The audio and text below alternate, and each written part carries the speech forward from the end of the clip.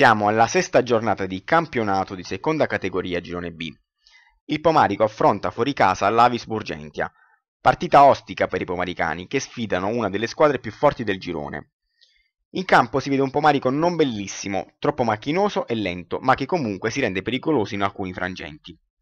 A centrocampo un grande Giuseppe Acito, che lotta su tutti i palloni bloccando le ripartenze avversarie.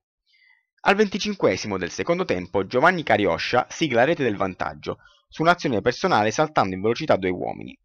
La partita poi finirà con il risultato di una rete a zero per il Pomarico. Vediamo ora le interviste. Sono insieme a Giovanni Carioscia, una bella partita di Giovanni che venivi da un infortunio e abbiamo visto che ti sei ripreso abbastanza bene e che anche segnato tutto il tuo primo gol. Raccontaci un po' come è andata, com andata, un po' la partita e come hanno giocato anche i tuoi compagni. Mister mi ha dato l'opportunità di, di, partire titolare, eh, insomma, ricordiamoci che vengo da un infortunio abbastanza grave al ginocchio, questa è la mia seconda partita e vincere eh, con un mio gol è una sensazione abbastanza felice.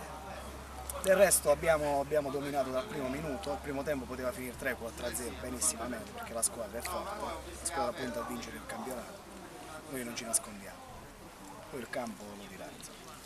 Va bene, ti ringrazio Giovanni, Se vuoi fare qualche ringraziamento particolare a qualcuno? Sì, devo ringraziare il mister che mi ha dato l'opportunità di giocare, il presidente, il direttore sportivo.